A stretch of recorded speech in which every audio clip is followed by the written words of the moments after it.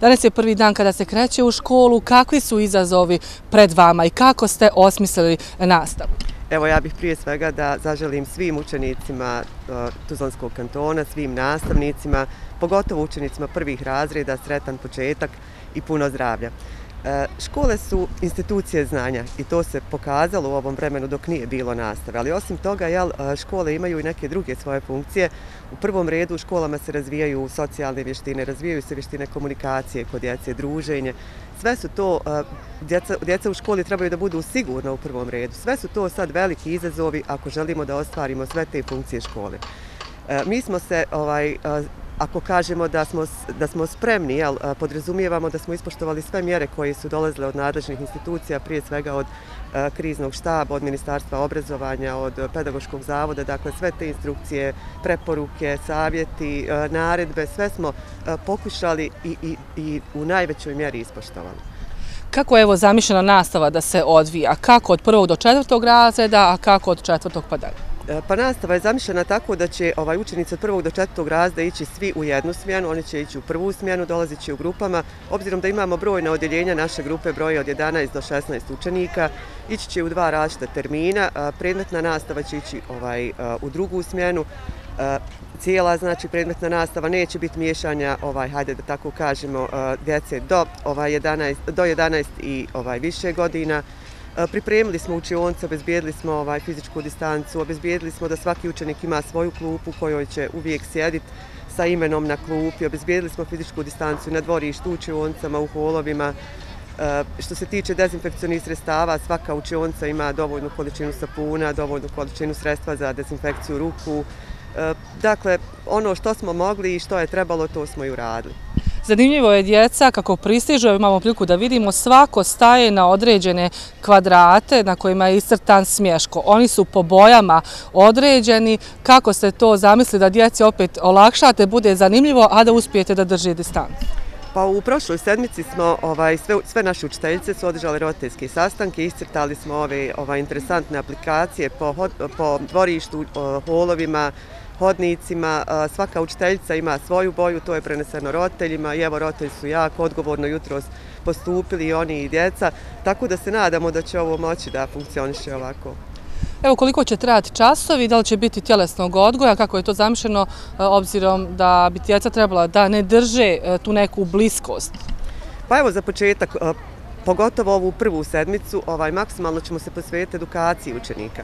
Dakle, idemo da e, najprije naučimo kako ćemo se ponašati u školi ovim narednim sad i ovim, ovim drugačijim okolnostima, a potom ćemo ovaj, e, ići polako jel, sa onim e, ciljevima zbog kojih djeca i jesu u školi.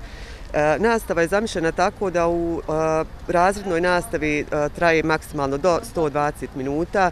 U predmetnoj nastavi su časovi skraćeni na 40 minuta. Imaju između toga određeni ovaj, odmori, pauze, jel? što mi zovemo u školi veliki i mali odmori, ali svo vrijeme djeca će biti pod kontrolom nastavnika. Znači, nastavnici neće izlaziti ni za vrijeme odmora iz učionica.